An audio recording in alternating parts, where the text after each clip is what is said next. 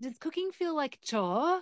Well, it doesn't have to be like that. Listen on to discover why more food lovers need to press the easy button on everyday meals and what becomes possible when you learn how to let cooking be simple and easy. This week we're going to be talking about why more food lovers need to press the easy button on every everyday meals. But before we get to that, the best bite I had this week was I've been re- rereading Nigella's beautiful book Cook Eat Repeat, her latest latest book listening to the audiobook version. I just love listening to Nigella read and talk about food. It's so good.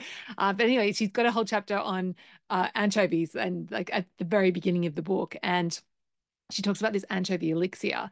And so I was like, right, I have to make something like this. So yeah, it's like it's like an anchovy sauce where you puree up anchovies with I use some um, some wine vinegar and olive oil and garlic and just you get this like amazing umami like explosion. So definitely one for the anchovy lovers.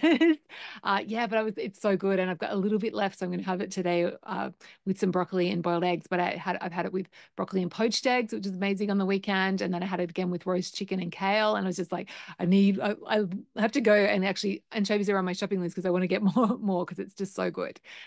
Okay, so plan for today is first I'll share the story behind the easy button episode why I'm going in recording this now. Then we're going to look at the three stages of cooking mastery just to identify where you are in terms of your relationship with cooking. And then we're going to look at why cooking feels so hard, can feel so hard at each stage and and kind of get go go deeper on that. And then we'll look at why we need to put the push the easy button. And then we'll also explore like what becomes possible when you do choose the easy button for everyday meals. And then at the end I'll, I'll share with you like how to actually go about doing that doing it. So the story behind this episode is i've just completed last week actually we completed the the latest 21 day it's called the 21 day confident cook challenge. So a 21 day cooking class with with uh, my students. And i was just blown away well actually everyone in the group was so blown away by how easy actually i wasn't blown away by this but they were how easy healthy meals can be. And actually someone had um, posted in the group paula and she said who knew that spending so little time in the kitchen could be so much fun and taste so good? So um, yeah so i was just thinking about like i know this is true like how how easy meals can be so delicious and not hard and how like healthy meals can be so easy to pull together uh, but the rest of the world doesn't. So it's like okay i need to record a po- podcast episode to share this to share this and and actually let more people know that that this is an option for you guys. So yeah, I wanted to dispel some myths around cooking. So let's dive in and first first port of call is to look at the three stages of cooking mastery. So the the three stages are, and just as I'm t- talking through this, like think about where where you currently at in your your cooking journey. First stage, of course, is the non-cooks. So people who either hate cooking or just have zero interest in doing it or zero experience in doing it. So you know you're a non-cook if you like feel when you think about going into the kitchen it makes you feel a bit uncomfortable um, and you pretty much you know you're able to you survive on restaurant meals and ready meals and you're eating out and like you and and basically anything that, that doesn't involve cooking so that's if you're a non-cook. Next, the next stage of cooking mastery is the recipe cook. And so you know you're a recipe cook when, like, in order to yes, you can make stuff, but in order to do it, you have to check a recipe first. So you can't just walk into the kitchen go, oh, I've got some broccoli and some chicken. I'm going to make this this you know, going to make whatever, you have to, you go, okay, I've got broccoli and chicken and you're Googling broccoli and chicken, or you're looking through cookbooks and, and finding bookmarking recipes, it, it, or, or, you're doing both, but you don't feel comfortable. And if you, often if you come across an, if there's a recipe, but it doesn't have, it, you don't have the ingredient, then you have to run out and get the ingredient because you don't feel confident being able to substitute. So that's the recipe cooks, although, and recipe cooks, some like you can be like completely glued to recipes and some people are like they're able to substitute a little bit but they still need that comfort of a recipe to to do that. And then and this is certainly how i learned to cook like was by following recipes. It's a great it's nothing wrong with recipes. I love them. I write write them. I read a lot of cookbooks like so yeah this is this is a is a is a great stage to be at. And then the final stage is the intuitive cook. And so you know you're an intuitive cook when you have that ability to just just like you you have some ingredients and you go oh yeah i could do this and this and you like it's no problem to pull a meal together without much effort. Like you can just look in the fridge and go oh yeah there's some kale there's some um, there's i've got some boiled eggs like i've got some of my anchovy elixir or got some mayonnaise and you can just pull something to something something together quickly and when you're an intuitive cook, there are maybe still be times where you are reading recipes, and there may be times where you even do follow recipes, but it's kind of you're just using it as inspiration and a guide. You're not you're like, oh, I have to follow it through the, to, to the letter, and you're not stressing out about, oh, hang on, what do they mean here? Like you're just using that as an idea rather than rather than yeah following it to the letter so they're the three stages i want you to just pause and think now like where are you at in your cooking mastery journey and now we're going to move on and explore like why cooking feels hard in each of these stages. So when you're a non-cook, cooking feels hard, of course, because you don't know how to do it. Like, and so there's a lot, tends to be a lot of negative self-talk around cooking. So that makes you feel even worse. Like you'll be telling yourself, oh, I'm stupid in the kitchen, or I don't know what I'm doing, or uh, like I just it, it's such a chore. I hate hate that even like exists. And and of course, when we like when we don't know how to do something or we don't feel good at we don't feel like we're confident in a skill of course we don't like it. Like as as like as adults like when we're kids we don't we don't, we don't stress about it so much but when we're adults like if we don't feel like we're good at something we don't we definitely have a lot of resistance to doing it. So that's what it, why cooking feels so hard when you're in the not non-cook stage. It's actually not your lack of skills that's the problem it's the mindset that goes around it and the expectations that you have around cooking um, may not match like what cooking actually can be. So that's that's a if you're a non-cook. If you're a recipe cook, of course, cooking feels hard because you're just glued to recipes. like you have to find the recipe, you have to get the ingredients. If you're doing a meal plan, you have to like write out your shopping list first, and you don't have that ability to just go and go to the markets and just buy what looks good and then figure it out later. Like you have to have your all your ducks lined up in a row. So and that feels hard because it takes a lot of energy and time. Like it, it's another, even if you're just trying to do a quick Google search, it's still another like you know, couple of minutes even if you find the recipe a recipe really quickly that's going to suit your your criteria it's still a couple of minutes that between like an, an extra step that you have to take between deciding that it's time to make something and you actually getting in and, and starting to prepare the food. So that's that's when you're a recipe cook cooking feels hard because it because you're in, trapped in this like recipe land. And cooking feels hard because like if you don't you have to find the right recipe that has the ingredients that you have. And if you don't have the ingredients you know what you have to do. And yeah like you you, you know that um that that is like that has you know, cost and time uh, implications as well.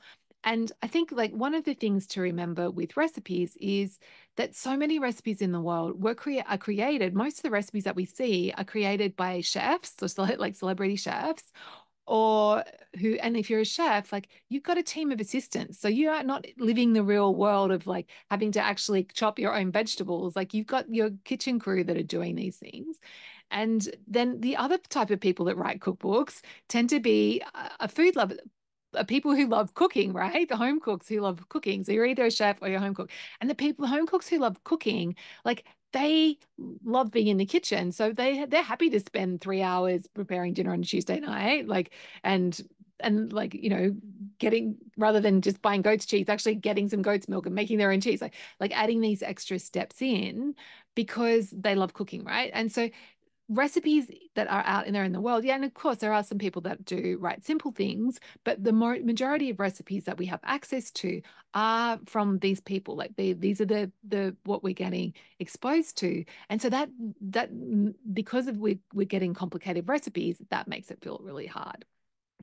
And then the third type of um, for, for the intuitive cooks why cooking can feel hard is that just when you're an intuitive cook like you have a human brain and humans have this like tendency to complicate things and so when we uh, walk into the kitchen even if we we are able to pull something together like there's this thought that like the oh, thought error that they're like more is more, more is better right and so yeah i need layers of flavor or we have an expectation of what is like what goes into making a a delicious meal.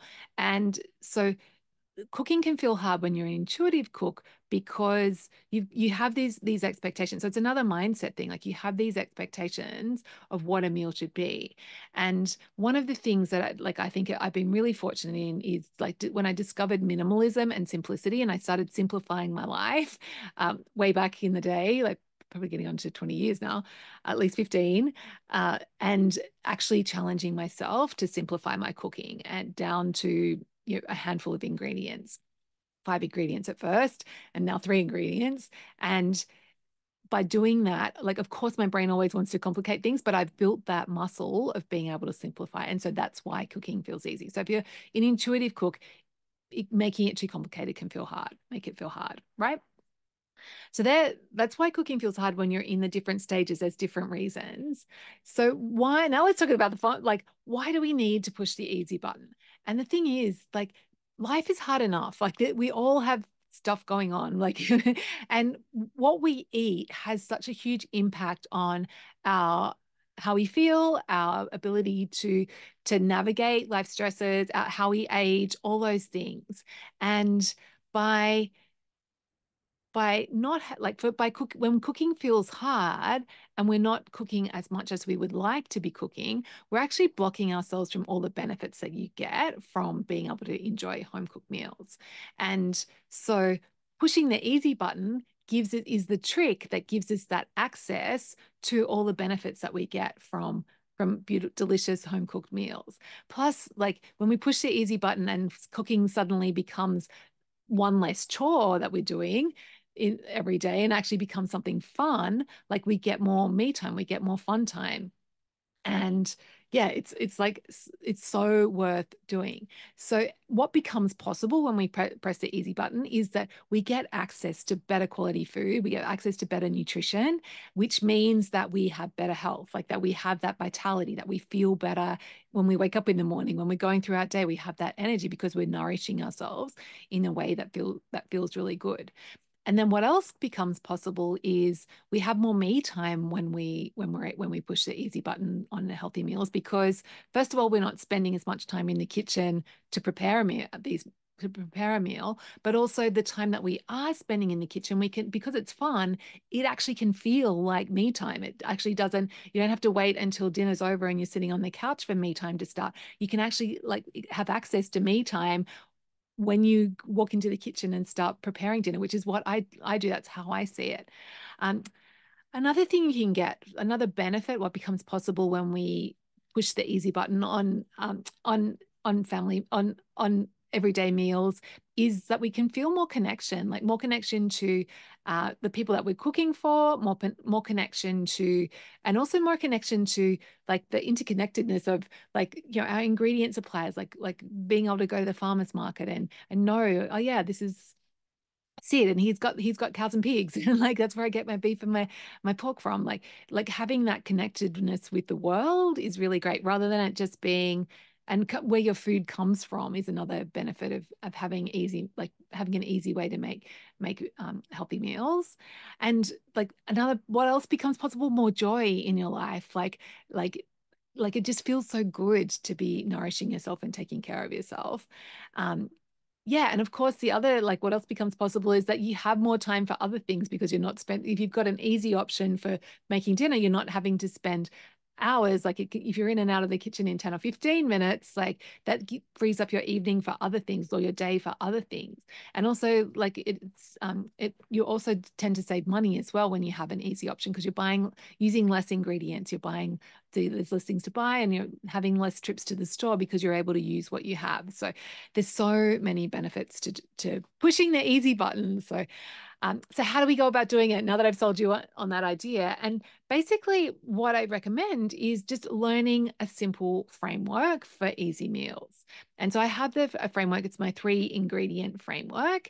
And that way you're not scrambling around trying to find recipes and you have these like by keeping the number of ingredients simple like small that's the best way to keep keep to make make meals easy because you can't complicate things when you've only got a couple of ingredients that you're using. And so what how to what and what the benefit of this my three ingredient framework is. If you're a non-cook, it's going to give you that confidence of, yeah, I don't need to go and learn recipes and study at culinary school. Like I can like if three ingredients, like I can do that. It's going to give you that that kind of confidence to get in and try and experiment thing with things if you're a recipe cook, like this three ingredient framework is going to give you that freedom to like free yourself from from recipes. And of course, like if you want to have a re- cook with a recipe, you'll be able to, but you'll have this other option so that you can go to the farmer's market and just buy what looks good and and and you know pull something together, which is going to save you so much time and effort. And the um and if you're a, an intuitive cook, like learning how to push the easy button is it like how that's help helps you is that it just gives you this permission to simplify and it gives you this uh, a framework to to remind you oh yeah actually i don't need to have three different sides for a meal to be satisfying. I can and and have like 20 different ingredients. I can actually pull something together that is going to work and that's going to feel good and so if this sounds good, if you're like, yes, Jules, I want to push the easy button, I'm ready, then I've actually got a free class coming up. So it it's called the two unexpected secrets to be able to whip up something healthy without it feeling like work or looking at the recipe every minute. And so I'm going to share with you my uh, my three ingredient framework in that free class. So if interested, if that's sounding, sounding good, just check out the link in the show notes to get the details. And uh, yeah, we can take it from there. And actually, if you can, I highly recommend turning up live to the class because I am going to have a secret bonus for everyone who turns up live. So hope I get to see you in my, my cooking class. But if not, I will catch you next week. Okay, bye.